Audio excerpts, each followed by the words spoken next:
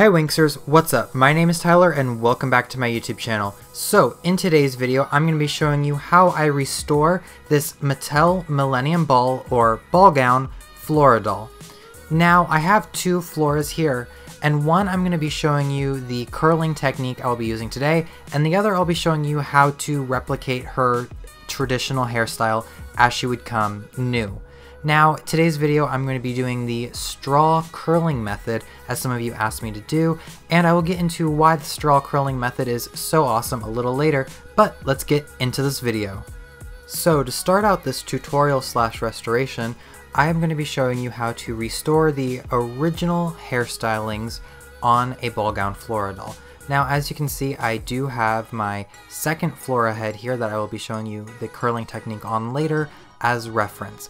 As we can see, it's a fairly simple hairstyle. All you're gonna have to do is take the hair that composes the hairline from the ear to the crown of the head on both the left and right side of her face, on either side of her bangs basically. Brush this out nice and tie it up with a natural colored rubber band. Now I like to tie my rubber bands not exactly where I'm going to want them to rest. I usually tie them farther away. That way I can simply pull the hair and tighten it up.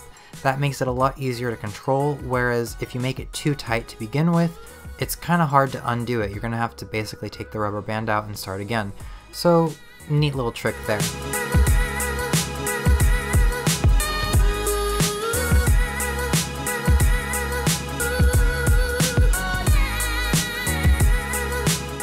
So for Flora, I have decided to simply just cut the straws in half. This is going to be much too long for how short her hair is, but you can adjust the straws as need be. I'm doing this because I want to be able to reuse my straw curlers in the future, and this way they're more of an average size versus how short Flora's hair is. So that's one of the great things about the straw curling method is that you can reuse them. Once you have cut the straw in half, you should have two pieces of straw. Take the larger piece of straw and cut that one vertically down the center.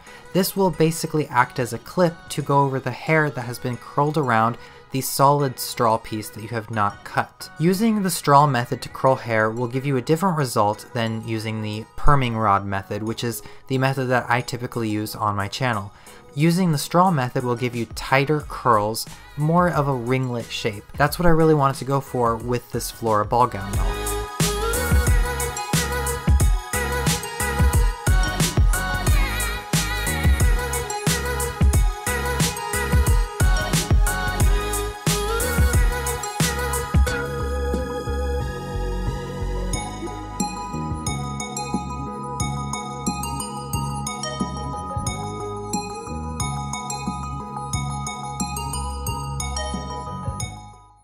So now it's time to actually start curling. You're going to start by taking small sections of hair and wrapping the hair away from the head. Wrap it tightly on the straw, making sure that the hair isn't too bunched up, and then simply clip the cut half of the straw over the wrapped hair. It should look like this from the back side, nice and tight.